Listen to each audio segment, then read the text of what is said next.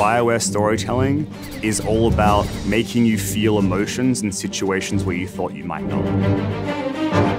Doing an MMO was scary. Massively multiplayer games are the biggest and most complex games in the world to build. Anytime you release a game with as much content as this has, you're always going to be a little surprised at how fast people burn through it. Dozens of worlds, millions of words of spoken dialogue. It was daunting, to say the least, but it was also extremely exciting to set out to build this entire Star Wars universe. We're just set up in this position to take advantage of something that's kind of this once in a generation opportunity.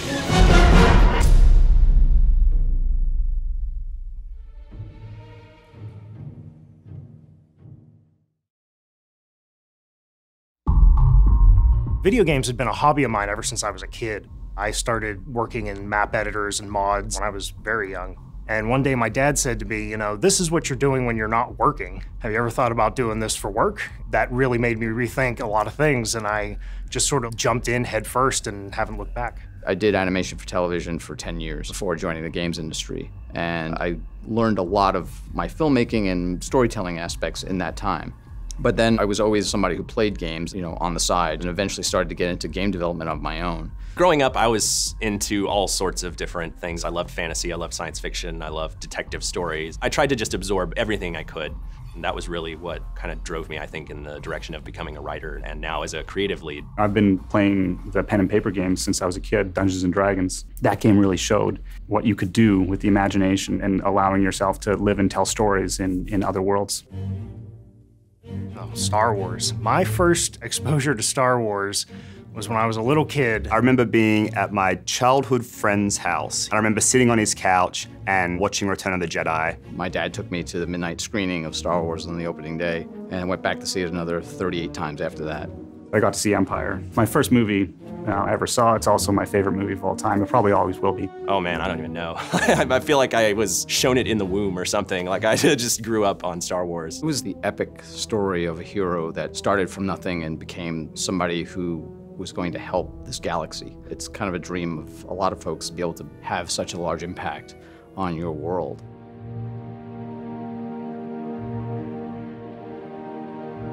Dark Horse Comics was making a Star Wars series of comic books, and they wanted to take that, that throwaway line from Obi-Wan Kenobi. The Jedi have been defending the Old Republic for a thousand generations. They wanted to take that and set a comic book series uh, thousands of years in the past. So that's how the Old Republic era originally came into existence. And then we took that, but we wanted to go our, our own direction. I don't remember how I first became aware of Knights of the Old Republic as a player. It just, as soon as it came out, I immediately had to have it. That's all I remember. And uh, I still didn't know quite what to expect going into it.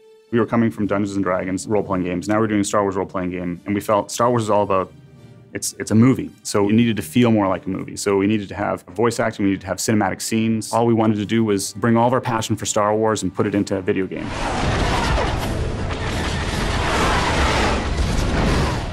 Knights of the Old Republic really tells a traditional kind of Star Wars story. You're a lone hero who kind of gets swept up in galactic events. You meet interesting characters who become your allies and your friends. And you're adventuring together, and there's this evil Sith Lord that you're up against, and you, have got to take him down and save the galaxy.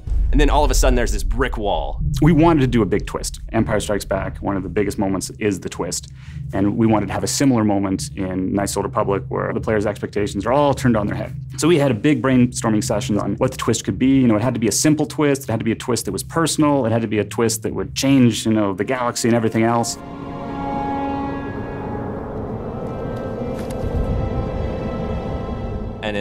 Turns out that you were the actual villain behind all of these events. You're the reason all of this is happening. And it's just mind blowing. It just completely changes every aspect of the story and so many things that characters had said earlier in the story where they reference things the Jedi had done or things that the Sith had done in the past. It recontextualizes all of it. You cannot hide from what you once were, Revan. Recognize that you were once the Dark Lord, and know that I have taken your place. I never saw it coming, for sure. I mean, maybe other people did, or maybe they're just lying and said they said they did. But I definitely didn't see it coming. Before Knights of the Old Republic shipped, we didn't know how much it was going to resonate. And once we saw it was getting uh, exceptional reviews, it was kind of like, that was it's it's good. We did good. We did good. It was so cinematic, so different, and just so evocative of Star Wars that it just grabbed me immediately. Like I think I played it through in maybe two days, just nonstop, barely sleeping. That was a great example of the power of a great story. People 10, 15 years later still remember that game because it's something that hadn't ever, at least in the games that I had played, had never really been done, at least not done that well.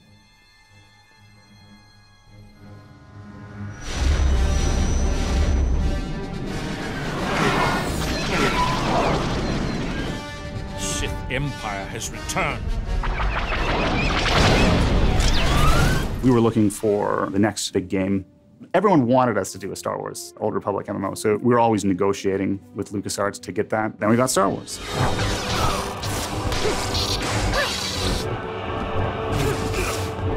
KOTOR 1 and 2 were hugely influential on how we designed Star Wars The Old Republic, especially the storyline. Both for us as the creative people, and we knew for the fans coming into it, they would hear BioWare, Star Wars, MMO, and immediately say, oh, it's like KOTOR, but it's an MMO. Oh my, that sounds amazing.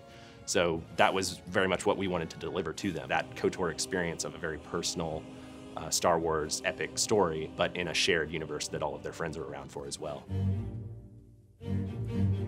The Old Republic is set a few hundred years after the previous games because we really wanted it to be a fresh place for you to come in even if you hadn't played KOTOR 1 or 2. You're kind of coming in as a new character, kind of experiencing the galaxy in your own new way. But the situation of the whole galaxy is set up from those previous games. This idea of this secret Sith empire that's lurking in the shadows and has finally kind of come to the fore and invaded the universe. The philosophy we brought into Star Wars The Old Republic on the cinematic side was to make sure that the player always felt like the hero. The shots would always reflect the player from a very heroic standpoint. Whenever we could kind of embellish that with music or with visual effects, we would do so. And a lot of, you know, RPGs, a lot of MMOs, other kinds of games, you start at a very low power level. You're kicking rats with and punching them with your bare hands, and that's all you've got going, right? And that's not really Star Wars. That's not exciting. So it was a very careful balancing act to have players start with some core abilities that were simple, quick to understand, but still felt, you know, cool and powerful and, and appropriate to their class. So, you know, if I'm a Sith, I'm still gonna be able to use a lightsaber, and if I'm a smuggler, I can draw my blaster and do a cool blaster shot right out the gate. And then as the game goes on, as my character develops, the abilities and the depth of those abilities changes and goes along with it.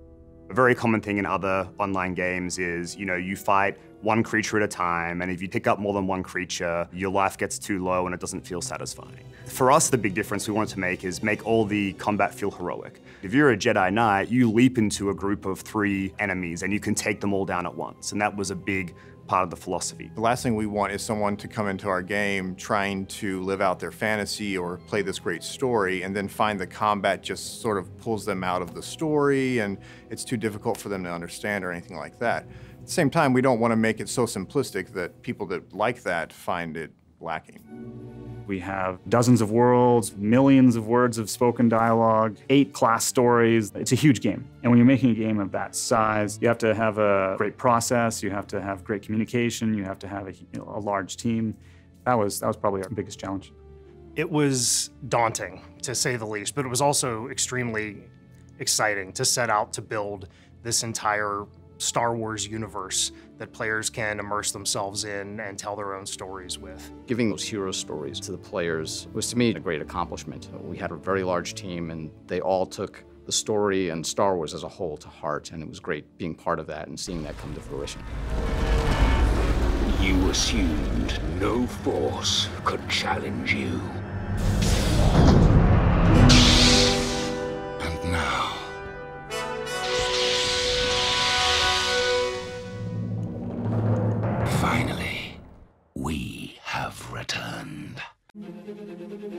When I started on Star Wars Old Republic about six months before launch, the biggest thing at that point was getting the service ready. We'd have as many people in the game as possible. Would the service hold up? Would the servers survive? And actually, turns out I think we had the smoothest MMO launch probably in the history of, of gaming because we put a lot of energy into that part of the process.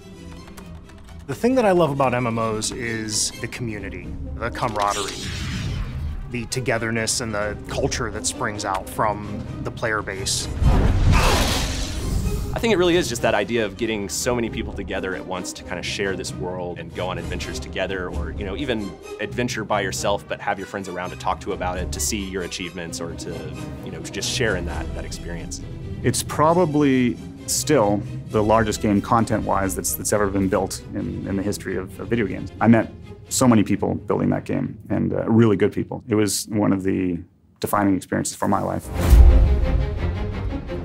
When we did the Shadow of Revan expansion, it was all about trying to continue this story. And we mentioned how with the launch of the original game, we had these eight class stories. We worked out quite quickly that it was really hard to produce as much content as players wanted if we continued all of those class stories. So kind of over time, we've condense those stories and join them together into a single path. Shadow of Revan was really, to us, our first step to get back to the kinds of BioWare cinematic storytelling that we feel sets us apart and that our fans love the most. The time has come. Only we can stand against Revan. Bring as many fools as you like. You won't stop what must be done. Revan, who was the main player character in Knights of the Old Republic, is returning to the story in Shadow of Revan it's about this sort of deep kind of conspiracy surrounding him and this plot that he's developed to, he believes, change the galaxy for the better. But obviously that comes into conflict with the player's own interests. Revan is such a popular person for obvious reasons through all the KOTOR series, and we really wanted to bring him back in a meaningful way and give him a really powerful send-off in the Old Republic universe. Your freedom will be the wars you wage. Really wanted Fallen Empire to be a fresh start, a chance to tell a new story that is both a continuation of what had happened before, but was sort of a intriguing and straightforward place for a new player or a long-time lapsed player to jump straight in and get immediately invested. You've started by watching this sacrifice trailer, which is kind of the prelude to the expansion. And you've seen these two brothers have this ongoing struggle with their father, ending with one of the boys being killed by the other.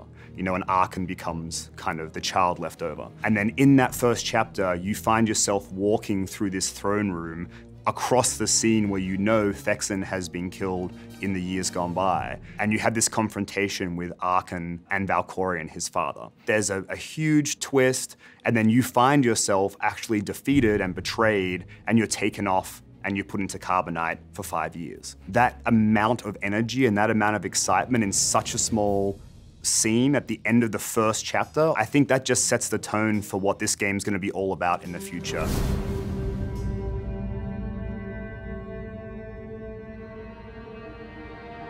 I have always loved the stars. I like the Emperor a lot. He has a cool face, his outfit's cool, the voice is pretty nice. I just like the way it all comes together. Valkorion's a complex character. He has been known as the Sith Emperor, but in Fallen Empire he claims, oh, I'm not really a Sith Lord, I'm beyond that, I'm something more. It's always difficult to know whether he's really being fully honest with you or not, and I always love that kind of character, someone that you're always having to question to see where our players will say, oh, he's probably evil, but he's also probably right. Uh, I guess I'll do what he says. I don't know. It's, it's always just a lot of fun to, to play with those kind of notions. I don't bleed so cool for just anyone. Be honored. Wanted to make a Star Wars villain that was different.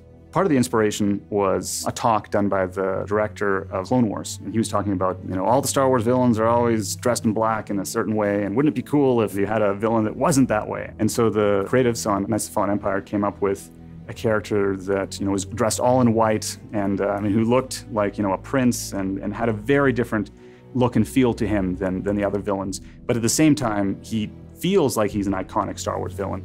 Because it's so character driven, we thought that the fidelity of these characters needed to be enhanced. We produced characters with a higher set of textures, with a little bit more polygons in the actual mesh itself. On the combat side, we definitely added a bunch of new abilities to improve movement. That was all around trying to make combat feel more fast-paced and more engaging. The Star Wars fantasy is more action-packed. You know, you have blaster bolts flying around, you have acrobatic lightsaber combat. That's something that uh, Star Wars fans expect. With Knights of Fallen Empire, we leaned into that more, and we're going to continue to lean into that in the future. If I were to give advice to somebody looking to get into the games industry, I would say just get started on anything that really drives your passion. Play games, but play them with a critical eye. Don't just look at them in terms of what's fun and what's not, but why they're fun and why they're not. As an aspiring or upcoming writer, the best thing you can do is write and accept that it might not be the most flawless piece of writing that has ever been made because it's the first thing you're doing or the second thing you're doing or the hundredth thing you're doing. Always push yourself further, do crazy things, put yourself out there. Really enjoy the things that are entertaining around you. Video games, movies, cartoons, music, anything you can for as long as you can.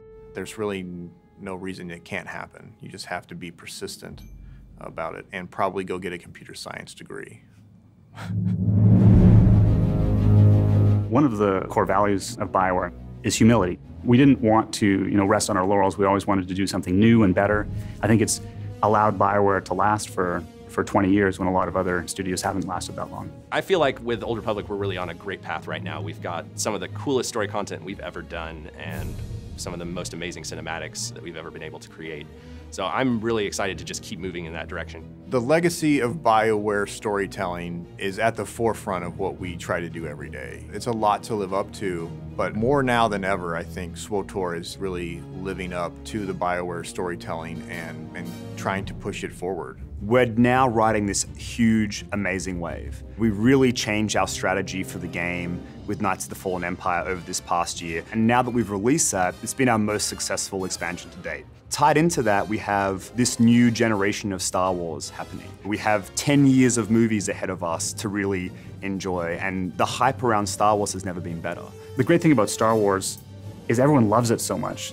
So many people out there want to be able to contribute to the lore of Star Wars and you have a very talented group of people that are very passionate about what they're working on, and we give them the freedom to make their ultimate Star Wars story. I am extremely fortunate to have the job that I do. Every character in Star Wars has a story. Everyone's important, and yet everyone is just a part of this greater galaxy. Now I get to contribute to those stories and that galaxy, and I, I couldn't be happier. Lucky is a mild word to describe how I feel to be a, you know, a part of Star Wars. It's such a huge part of our culture. It's the biggest IP on the planet. And, you know, I grew up, it was my favorite thing ever. Having the chance to contribute to that, to be a part of it, is just incredibly awesome. I, I just don't even know how else to say it. It's just very, very cool.